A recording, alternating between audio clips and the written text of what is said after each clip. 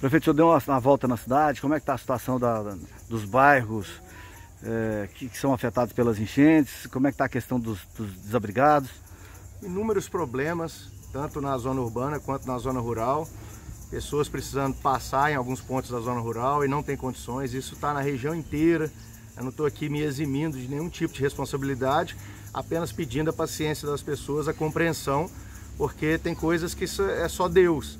Ninguém sabia, essa é a pior enchente da história, porque duas ao mesmo tempo e essa quantidade de água que nem a ponte da 365 não está segurando, nem asfalto não está segurando. Então, estrada de terra, infelizmente, a gente tem esse problema.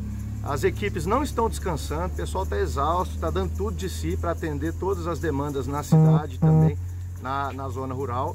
E tudo para nós é um só, né? A cidade ela, ela pulsa, ela respira com uma coisa só, a economia depende muito da, da zona rural. E na cidade muitas ruas que foram danificadas, muitas pessoas que precisaram novamente deixar suas casas. Isso é muito triste, porque foi uma coisa assim bem traumática, é, retirar as pessoas de suas casas, a gente apoiou até com tinta para pintar de novo, o pessoal fez a limpeza, carregou tudo para trás e agora ter que sair de novo, eu acho que é inédito e é muito triste isso, isso é muito difícil.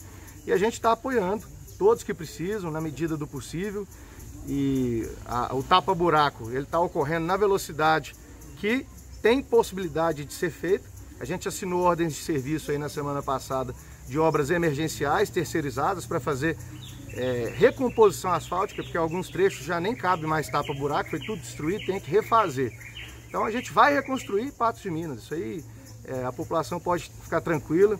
É, as críticas elas acontecem, o pessoal vai sempre inventar alguma coisa para falar. O fato é que a gente vai deixar tudo bonitinho de novo e vamos superar essa fase.